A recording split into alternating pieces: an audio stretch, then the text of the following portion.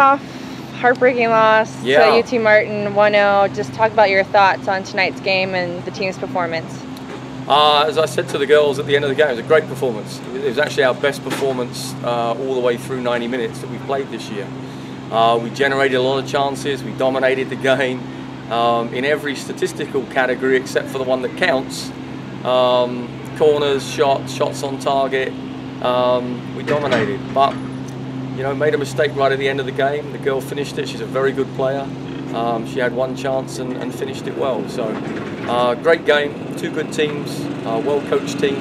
Uh, but I'm really pleased with, with how well we played. We can build on that, we can take that into Sunday. And if we play like that every game in the conference, we'll be, we'll be there or thereabouts at the end of the year. Yeah, talk a little bit more about um, the offensive chances. Cassidy Kemp had Yeah. two or three near misses. Yeah. Um, what was it tonight that made the team a little more aggressive in the final third?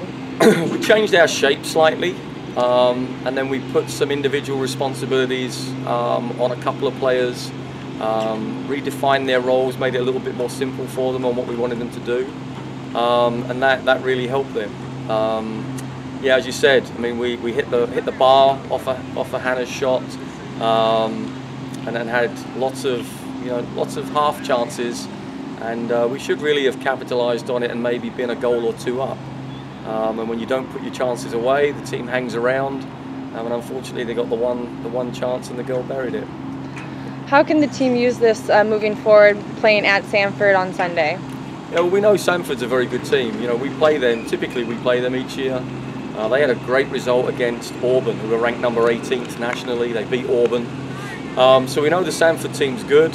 Uh, the UT Martin team is good also. So I think they'll uh, they'll get a lot of confidence from this one. Obviously, getting a goal and getting the result would uh, would lift them even more. But they know at the end of that game they played well and we're getting close.